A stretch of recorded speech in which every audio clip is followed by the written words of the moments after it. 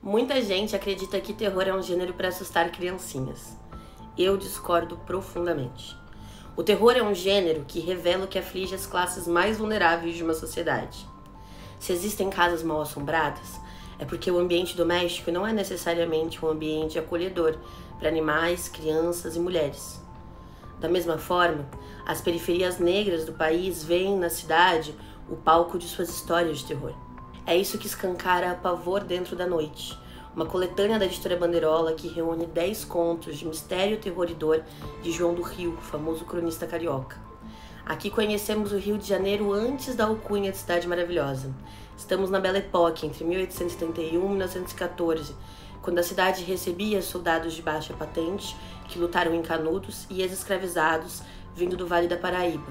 Era também o palco de muitas doenças que chegavam pelo porto, como a tuberculose e a febre amarela.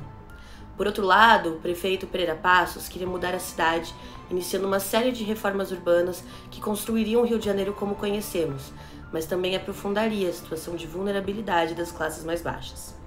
Não é à toa que nos contos de João do Rio, tão conhecido pelo seu olhar sensível às questões sociais, os corruptores sejam os homens de alta classe, que usam seu poder econômico e social para observar com sadismo o definhamento de homens e mulheres a eles subalternos.